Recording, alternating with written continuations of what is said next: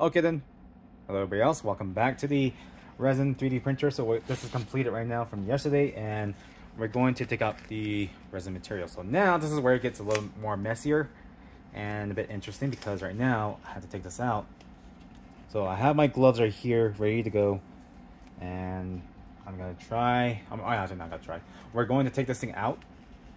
So we're gonna do the exterior of the, the panel or the container first. Okay, there we go. Get my gloves on. Make sure you use the gloves right here. This is the one that you'll be using right now. And also I have to be careful with my clothes too as well. But as long as we're being okay, uh, being careful, we'll be fine. So we're gonna remove this very carefully upward. That's it without hitting the build plate. And this is where it comes out here too as well. And also too as well, beware of the fumes. Uh, there will be fumes right away, so make sure you have an open space. Right now I'm in the garage, so we're good to go on a very large scale. So it just evaporates up in the air. That's it. And also I'm have a fan next to the, the area. So on this one right here, I'm going to zoom in. On this one, the resin print, you'll see these ooze or these excess material right here. So there's a excess resin onto here. And most of the time, they'll give you, on this one here, the Elegoo Mars 2 Pro, uh, they gave me this one right here, this little drip tray right here. So it'll just um, slide inside of there and it'll drip onto there. But if you don't have one, um, try and make one on your own. If you do have this printer, make sure you make your own tilt system. It's like a 45 degree angle downward slot. Make sure you do your calibration that, that you can go from there. So I'm gonna remove, remove this knob right here. If you do have a knob, make sure you undo it. Most printers will actually have different ones. Most of the time it'll have a knob, which it'll be straightforward. I'm gonna bring it out. I'm gonna tilt it over here, but I'm gonna hover on top of the resin area. And as you can see, all these resin are now going downward. So I'm gonna bring this guy over here Put this guy inside. Put this guy inside here too as well. Lock it in. And that way it'll lock itself in. So hopefully I don't get no resin on me. I think I did. I'm just gonna rub it off, which is fine. Don't worry, I'm wearing gloves right here, so I'm good to go. So now that from here, I'm gonna use my non I'm gonna use my clean finger. I'm gonna confirm it. We're good. Let's cancel out. So I'm gonna print another one later on. So I'm gonna let this drip down a little more. It's good. It shouldn't take about five minutes, 10 minutes to come off. Or maybe about, no, it shouldn't take about a minute or two to drip off. But if it's like an excess one, uh, I'd rather just do like fully cure two minutes, three minutes of it to come off. So, and you can actually see it right away. It's like dripping very slowly, but that's how it looks right now. So it's gonna drip on its own. So, so hopefully it should be fine right now. Yeah, I think it should be fine. I'm gonna do like one more drop and then we'll go from there. Okay, now I got everything else ready to go. I have to prepare my container, so I'm gonna zoom this out. There you go. So my container is gonna be right here, this little um, IPA. Make sure I labeled it too as well. Make sure you label it, it says IPA 91%. Make sure you use 91% alcohol because it's very, it's the best one to actually clean it out. If you use 70% or 60%, it's never gonna rub off. Um, you need strong, strong content to actually clear out those ones. I'm just gonna do a little one because I'm just adding in some new areas. Okay, it's okay. It's a little splash, but that's all right. That's fine. But just do a little bit because I think I have a little bit of these little tags right here.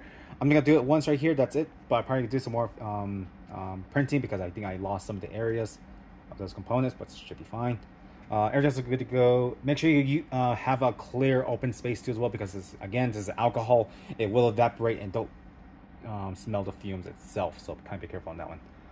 So I'm going to move this guy around here. Um, it will get sticky later on in the future with these containers. So kind of be aware of that. Just give you guys a heads up on that one. Okay, now I'm going to go at this right here with my clean hand. Undo it right here. Remove it because now it's already been done. Shake it off. There we go. Good. I'm gonna put onto my paper towels right here.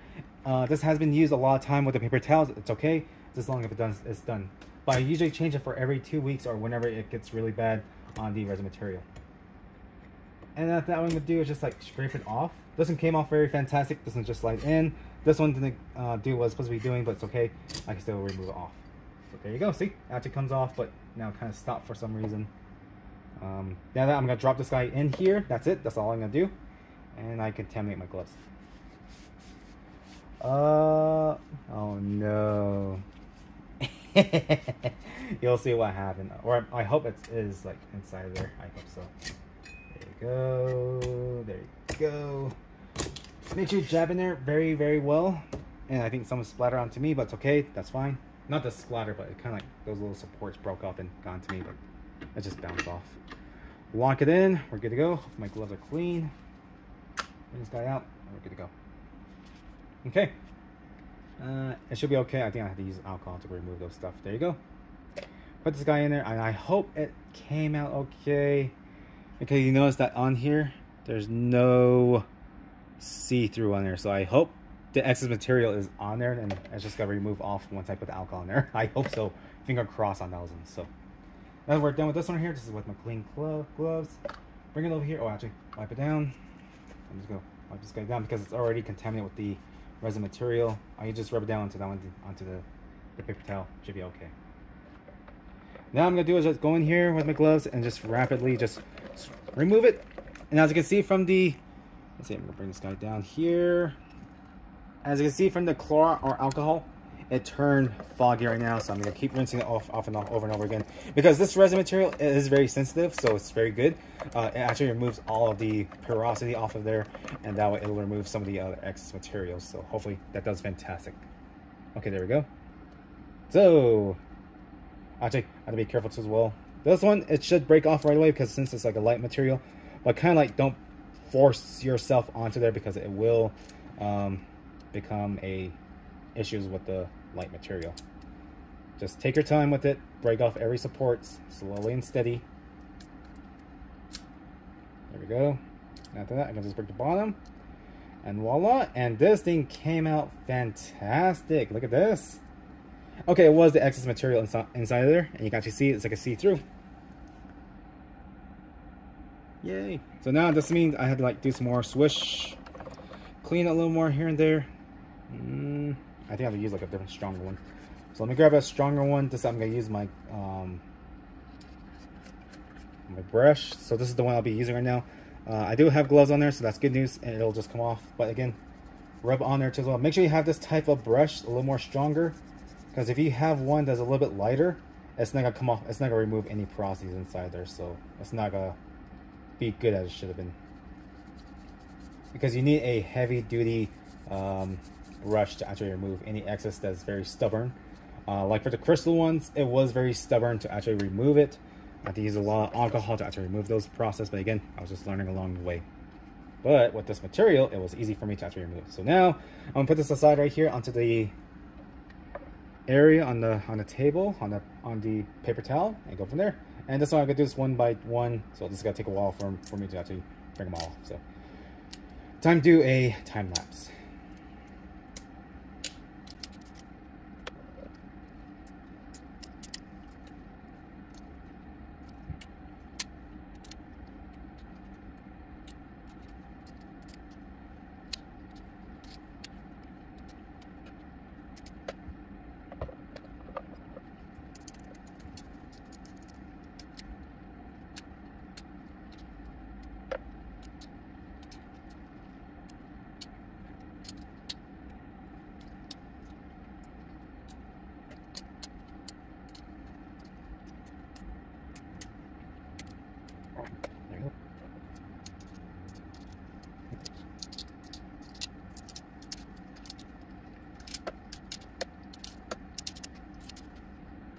There we go. So hopefully that took longer than I expected to be, but again, but if you're asking questions like how come you didn't break like the other um, resin material where you actually just put on it onto the table and just bend it over and it's just gonna be it'll broke off it'll break off easily. You can't because these ones are has a thin base onto it, so as you can see, this is a little more thinner, and I don't want to risk it to actually break it off from there. So that's one thing you have to be careful because some supports will break off at some areas right while the other ones will not break off so you have to take your time to actually find the source of it. And on top of this as well if you have like models like the godzilla or the t-rex you might have different um, areas that has a different uh, geometry onto it as well. And depends where you actually have the supports being on um, being added onto that will take a long time too as well. So that one that's the one thing that's gonna be a difference. Okay there we go. We got our brand tickets here. So that's good news. And after that um, I am going to let these dry up for now. I'm going to use the other excess paper towel to actually damp it down, but also at the same time let the other ones other side to actually uh, get um, get dry out because these this is alcohol, which is good news. It'll evaporate quickly, but also we have to be careful because sometimes some of the other resin material might be on there too as well. Even though it might be cleaned off with the alcohol, with the 90%, sometimes it'll not come off depending how um, how well it's gonna get stuck onto the um, the print itself. So uh, let's go double check everything else. We're good right now, so I'm good. I'm gonna rinse off my hands. There we go. I'm gonna remove my gloves, so we're good. We're safe. I'm gonna put those back, the lid back on, and I'll go from there. Okay. Now, should I continue the next print? I want to say yes, but I think we can. Yeah. I'm gonna print out the another one, so I'm gonna print out another uh, print. Over here, zoom onto there. So I'm gonna print another one again. I'm gonna print out the lattice structure because I don't have one right here. Apparently, I don't know what happened from there. But I'm gonna print out these guys right here. These ones did fantastic. I do love it. And I do love the, the lattice structure. But again, this is just like a, a, demonstration from the schools that was given to me. But this is the one that work I will try to print out for them. That way I'll be as a extra um. But I do love the other one, the bigger uh, lattice structure, which I will print out next time. And that will print over overnight, which I'm gonna show you guys by next day. Or hopefully by shorts. So. Okay. I'm gonna go damp this guy down now. Oops, a little bit too much. Upper. There you go. So now I'm gonna damp this guy down a little more to remove some of the excess off. Now that once we're done with it, and it should be ready to go to begin to um, cure itself in the into the um, ultraviolet, so. or the cure station. So, but yeah, this is where how it is for a long, long time, and it will take a while to get used to it. And sometimes it's not gonna get be okay. But sometimes it'll come out fantastic as it is from the final results. Rather than the 3d printer uh, 3d printer you have to you like take your time with it adjust the settings and then adjust some of the areas. Because again it, it will vary on how well you uh, print it out from there. Okay I think some of them are already dry now let's see oops except for one because I can see it from the sun uh, from my lights some are still not dry. Because if it's not dry and if I put it in the incubator, it's to have that um, glossy texture and that's not going to go very well. Okay, now into the incubator, which is this guy right here, or into the curing station. So I'm to remove this guy on the top. It's just a little simple base inside of there with a ultraviolet light inside of there. That's all there is. This guy's ready. And this actually does like much supports as much as it can, but I can just lay on the on the base of it like that. I want to add in some supports on there. Whoops. These guys are stuck on here. There we go. Yeah, that should be okay. Uh, triple sides. Feels very cold, which is interesting. Uh, this guy is okay. Move it a little more. There we go. And I'm gonna I'll lay it around on the base area. There we go. There we go There we go.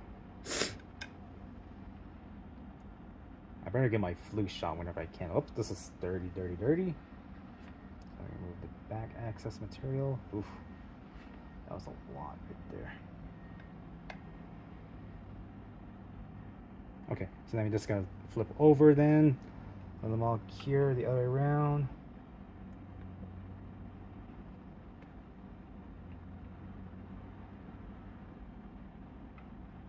Oh yeah, I definitely need to flip it over. Okay, there we go. So let that dry up. This is ready to go. Okay, it'll fit as much as it can and make sure it's always in a flat base because you want it all cure into one area.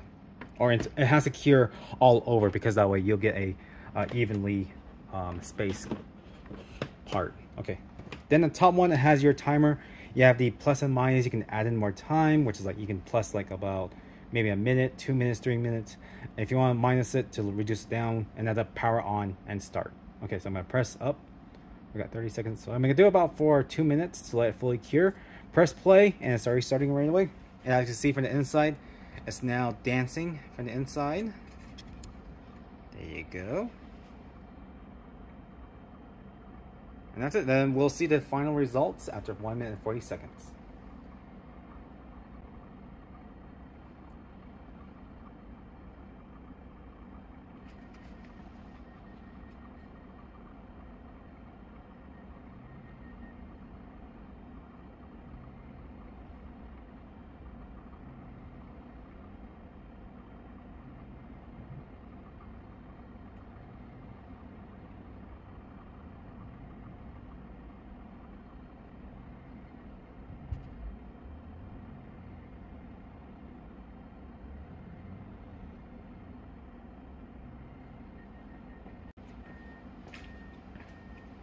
Okay, it is now done for two minutes.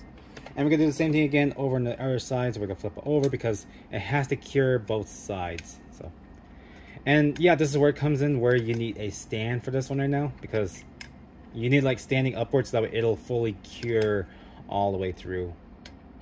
But since I don't have one, I have to do this very slowly, but which is okay. That's fine by me as long as I'm doing the other stuff on the outside. So I'm gonna do about one minute 30 seconds. It should cure right away. Good to go.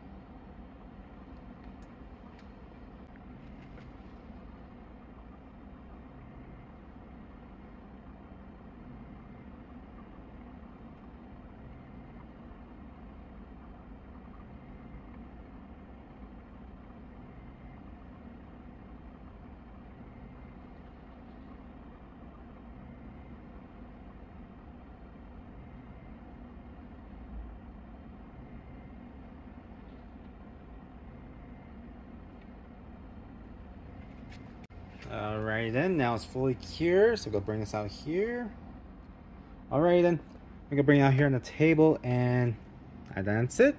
And this is where it came out right here, comparing from these two right here, from the cure and not cure. So this is what it looks like. If I can get the, there we go.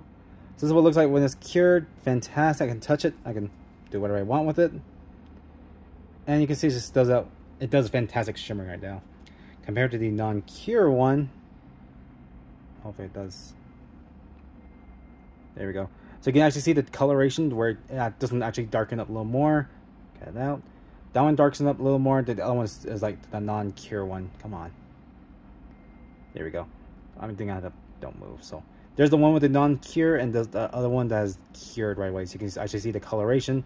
And you notice that this one's kind of shimmering on the on the glossy side. This one is not uh, slightly shimmering. So this is where it looks like from now. Because again, it fully cured. It's now a solid piece. So this is very interesting. So I think this is the one I'll be stopping right now because I don't need that much of the items until later on. Until I do my manufacturing on the items itself. So, And these are just like name tags to actually um, um, label my components. So that's it. That's all I can do for now. That's all there is today. That's how you do your resin prints. So kind of like like I said before from the other videos, it's not about to actually um, bring it down. It's just basically trying to let you understand how it looks like, what looks like from the on the resin print itself, and that it does have a lot of downside of how you actually um, manage it. And also it depends on what your purpose is on the resin printing itself. So that's one thing I'm gonna give you guys advice on that one. But again, you do a lot of interesting stuff with it. I do understand that it does have a geometry of it. Not that very strong as the PLA plastic. This is very fragile. It will break on its um depending how well it's sturdy, or if it will um consider its impact. So this will break apart even though it's a lot more bigger and it does is very fantastic on the large scale. However, it's it, it, it varies differently on how well it's fragile on itself, including the Godzilla, the, the T-Rex, and the Dilophosaurus it will break off every now and then. And also too as well, it depends on the human um, contact as well. So kind of be careful. Uh, this is very safe right now. So as long as I cure it fully um, hardened, should be okay. It should be fantastic. And the other ones too as well, we will try. I will try to use those ones later on in the future for future references. Hopefully, this right here. Hmm. Oh, I did moth. Okay. Um, I can actually do whatever I can with these ones right here with the different um, work area um, which is fine. That's that's okay, as long as I know what to do with those uh, excess material without wasting it. That'll be okay too as well. So um, hopefully this video will shorten down a little more because the uh, the time of like cleaning up, the curing, and that's it. So hope you guys enjoyed this video. Hope you guys seen everything else on the resin printing and also too as well. Don't um, don't bring yourself down. It's okay. It's just it's understanding to figure out what is the purpose of this one and will you risk it and also how deep is your pocket for this resin printer itself and also what's your idea for this one this one for the cleanup and also for cleaning up the um the alcohol content. So just give you guys a heads up on that one. Okay give it a like subscribe and also check out our website donation page. Help us out. And we'll continue this on within the Navajo community. Okay thank you. Goodbye. Have a good day